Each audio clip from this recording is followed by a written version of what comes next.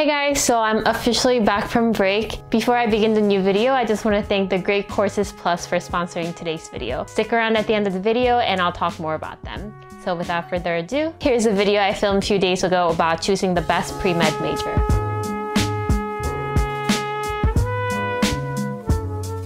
Hi guys, welcome back to my channel. There's a question that I want to finally address. I get this question all the time either on Instagram, Snapchat, the comment section here or via email as well. And the question is, what is the best pre-med major? I really think the question is, what is the best pre-med major that will increase my chances of getting into med school? I think this is a perfect time to answer that question because most of us school is starting soon and you guys are probably starting to think about whether or not to be pre-med or some of you guys are thinking about switching to pre-med. So the short answer is, spoiler alert, you guys are gonna hate this because I'm sure you guys hear this all the time, but the answer is it doesn't really matter. Pick a major that you like. But let's explore what major has the highest acceptance rate for med school a little further. So if you guys aren't familiar, there are some similarities between the application process to medical school and undergrad in that there's a centralized service that you have to use to apply to the schools. For undergrad, that's the Common Application, and for med school, that's AMCAS, which is the American Medical College Application Service.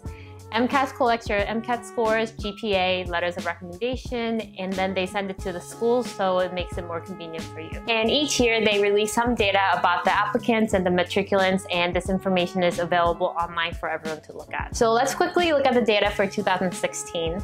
I'm going to transfer this data to a spreadsheet so we can kind of play around with the data and see if there's anything we can learn from it. So according to AAMC, there were 21,000 who were matriculated last year. So that's people who went through the application process, got accepted, and are studying med school or have started med school.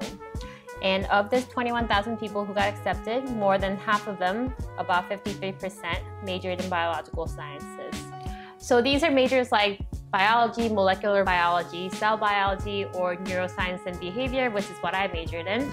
Um, about 4.2% of them majored in humanities, which are majors like history, English, English literature, creative writing, or a foreign language like Spanish.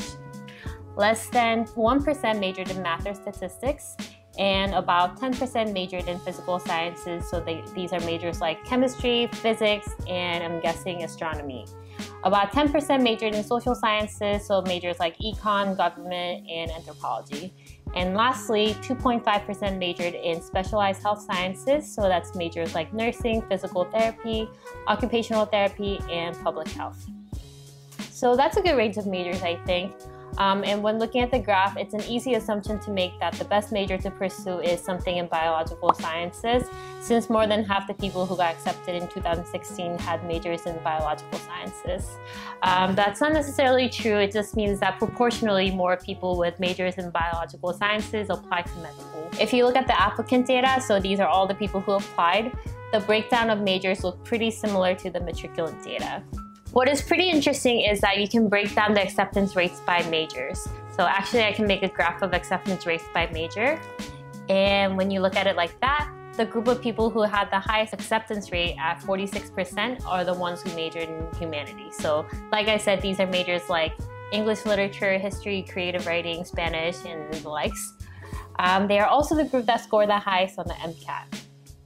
So there are probably several reasons why this particular group scored higher in the MCAT. One reason I can think of at the top of my head is the critical analysis and re reasoning skills section of the MCAT, which is most similar to the critical reading section of the SATs. So you're required to read and answer questions about complex passages with sophisticated vocabulary and with intricate styles. So people who majored in humanities might find it easier because they do a lot of that in their major, like being able to approach literature from different perspectives and develop their writing skills. I don't have any hard proof of this, but I believe that of all the sections in the MCAT, the hardest to improve in a short period of time is the critical analysis and reasoning skills. You can't really improve your vocabulary and your grasp of the English language when you're studying for the MCAT. I think that just comes with years of practice and reading, which you would have under your belt if you're majoring in something in the humanities. The group with the second highest acceptance rate at 44% are the ones who majored in physical sciences, and these are majors like physics and chemistry and etc followed by the people who majored in math and statistics at 42%. And not surprisingly, just like how people who majored in humanities did better in critical analysis section, People who majored in physical sciences and math and statistics did better in chemical and physical foundation sections of the MCAT. Another thing I find interesting is that the average person who majored in biological sciences didn't really do better in biological and biochemical foundation sections of the MCAT when compared to the other groups. Um, if I had to make an educated guess, it's because this group didn't really have an unfair advantage because this section is heavily covered by the pre-med requirements like biology, biochem, uh, which everyone is required to take. But does that mean you should major in humanities and physical sciences? Only you guys can decide for yourselves. My advice is I wouldn't major in something that I have no interest in because regardless of the major, classes are going to get harder and harder as you guys get to higher level courses. So the best major to pick is something you have a baseline interest in so you wouldn't mind putting in all the hard work you need to get a good grade. It's so much harder to get a good grade if you're studying for something that you have no interest in.